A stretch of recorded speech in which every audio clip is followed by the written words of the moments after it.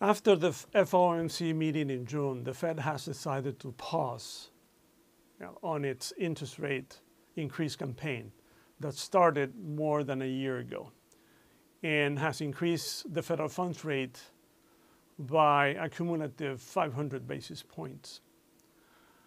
Even though the pause was expected by the markets, what was not expected was the hawkishness of the summary of economic projections and the dot plot, which is where they see the federal funds rate in the future.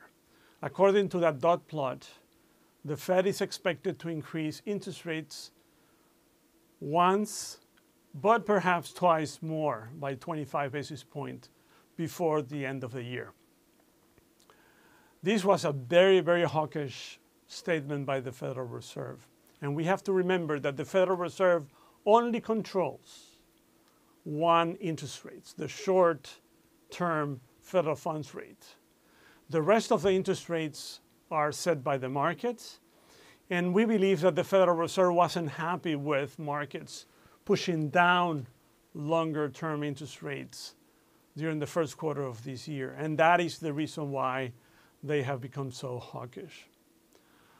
So we expect the Federal Reserve to increase interest rates once, at least once more before the end of the year, but at most twice as much uh, in order to bring the federal funds rate to 575.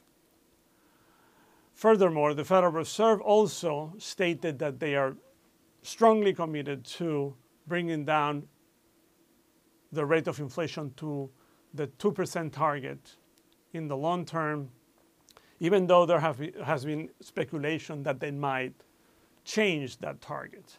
That is not the case. They are going to stick to 2% and they will conduct monetary policy according to the 2% rate.